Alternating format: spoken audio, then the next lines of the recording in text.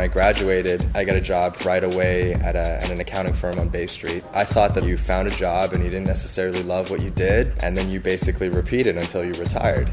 And it wasn't until I got laid off and then I got, you know, started with acting that I realized you can actually do something that you feel insanely passionate about, that you want to wake up every day and, and do.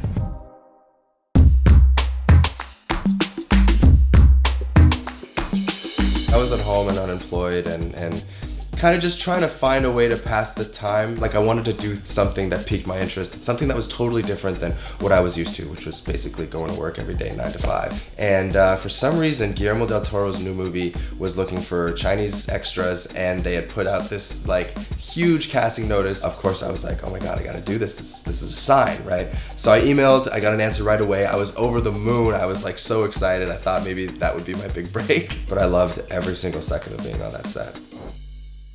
Porn for duty, Captain.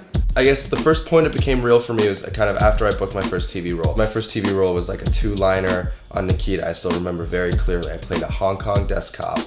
I spoke English with a Cantonese accent, and I had two lines. The first kind of inclination that I had that Kim's was going on was that uh, I was doing a play called Banana Boys at the Factory Theater, and one day Ins Choi showed up. So he came by just to say hi to the cast, watch us rehearse, and uh, to wish us luck on opening night. And then, you know, very casually he says, oh, hey, by the way, I'm doing this show called Kim's Convenience. It's, we're turning it into a TV show, and uh, I'm gonna be looking for people soon. And he just kind of left it at that. Then I hear nothing from him for, I think, almost six months.